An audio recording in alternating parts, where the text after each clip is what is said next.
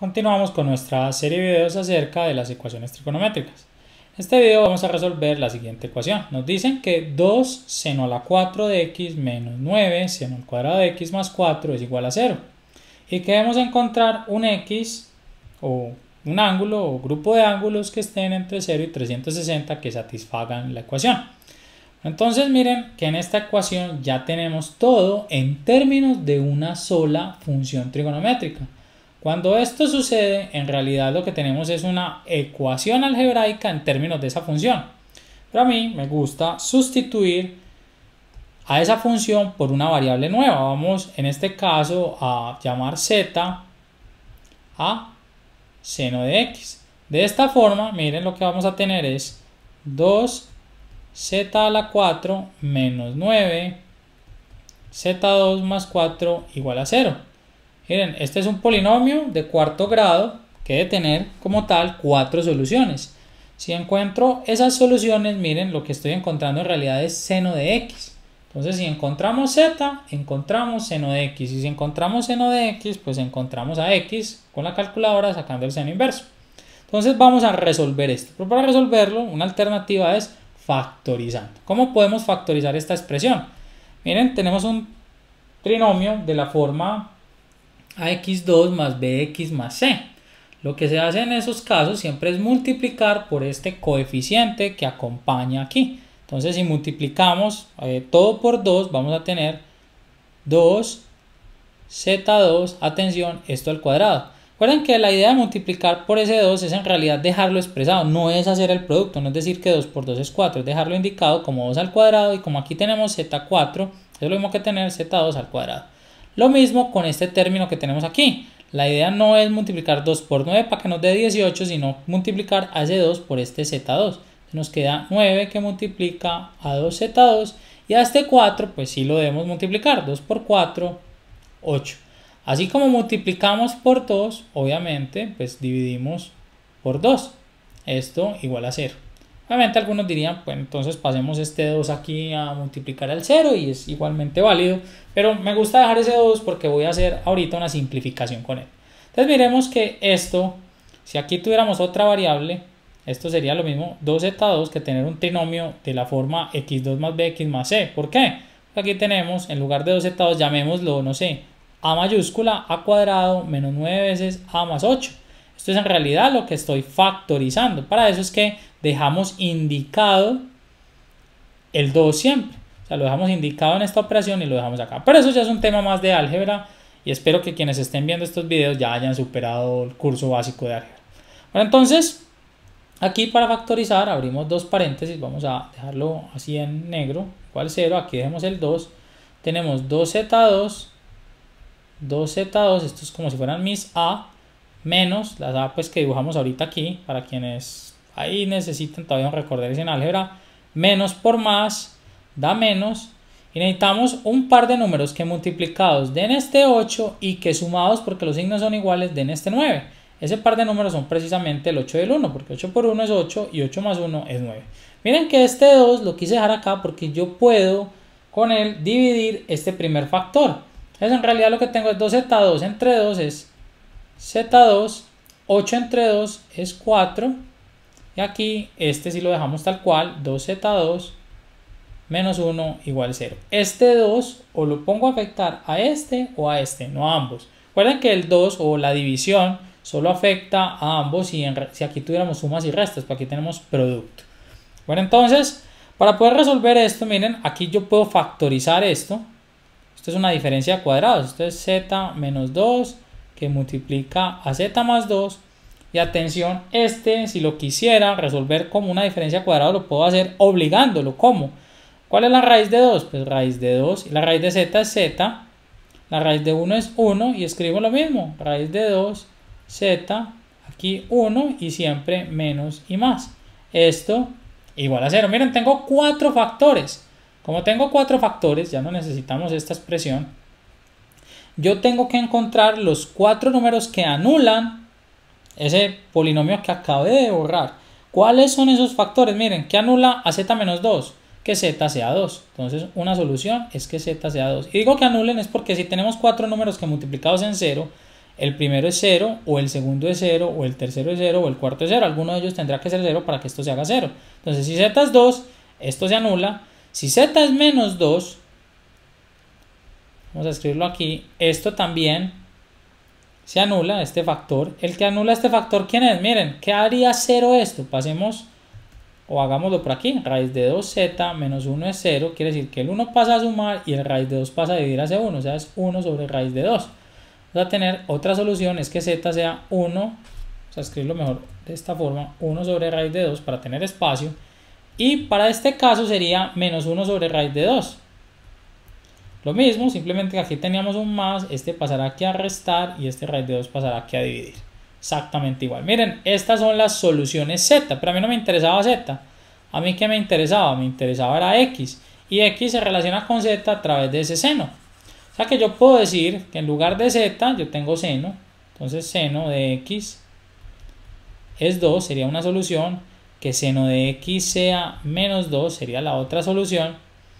Aquí tendríamos otra solución, es que seno de x sea 1 sobre raíz de 2. Miren que 1 sobre raíz de 2 es lo mismo que raíz de 2 sobre 2, ¿o no? Podemos racionalizar. Recuerden que para racionalizar multiplicamos al 1 por raíz de 2 y al raíz de 2 por raíz de 2. 1 por raíz de 2, raíz de 2. Y raíz de 2 por raíz de 2 es 2. Lo mismo con este, solo que nos va a quedar negativo. Nos quedaría menos raíz de 2 sobre 2. ¿Para qué lo hago así? Porque todos conocemos en las tablas, ya vamos a ver, qué ángulo tiene seno raíz de 2 sobre 2. Lo mismo que ángulo tiene menos raíz de 2 sobre 2. Igual si no lo conocemos, siempre podemos usar la calculadora. Bueno, entonces aquí tenemos cuatro senos, cuatro posibles soluciones. Entonces la primera es sacar, para encontrar que seno de x sea igual a 2, sacar seno inverso de 2 y encontramos x. Lo mismo en este caso. ¿Cuál es el problema con esto? Si hacemos eso en la calculadora, miren, si yo escribo en la calculadora seno inverso de 2 y seno inverso de menos 2, vamos a obtener un error. Algo así debe salir en algunas de las calculadoras que seguro ustedes allí en sus casas tienen. Sale un error. ¿Qué quiere decir esto? Que si yo trato de encontrar un seno de un ángulo que es un número mayor a 1 o menor que menos 1, no voy a poder encontrarlo y eso ya lo habíamos hablado. Recordemos que el seno y el coseno de hecho también son funciones que están definidas entre menos 1 y 1, que el rango está entre menos 1 y 1. O sea, yo no puedo tener un ángulo que el seno sea 2 ni un ángulo que el seno sea menos 2. O sea que automáticamente descarto vamos a tacharlo, estas soluciones, estas soluciones no sirven para esta ecuación, porque es imposible que seno de x sea 2 y que seno de x sea menos 2. O sea que solo me queda esta solución y esta solución. Ahora bien, si usamos la calculadora y calculamos raíz de 2, lo dividimos entre 2 y luego sacamos el seno inverso, nos va a dar que x es 45 grados. Y si usamos la calculadora, en este caso, con el signo menos nos va a dar que x es menos 45, pero eso es erróneo. O no es erróneo, lo que pasa es que nosotros tenemos que encontrar ángulos entre 0 y 360, ángulos positivos. Y ese ángulo de menos 45 tiene un equivalente en los positivos. ¿Cuál equivalente es ese ángulo? Miren, si aquí tenemos nuestro eje de coordenadas y yo medí un ángulo de menos 45, lo que hice en realidad, recuerden que los ángulos negativos es cuando utilizamos las manecillas del reloj. Aquí tengo menos 45 grados. Pero esto tiene un equivalente en los positivos. ¿Y cuál equivalente es? Es precisamente este que es en contra de las manecillas, que va a ser 360 hasta acá, menos estos 45 serían 315. O sea que el ángulo que tiene un seno negativo de raíz de 2 sobre 2 es 315. Pero ahí no acabamos.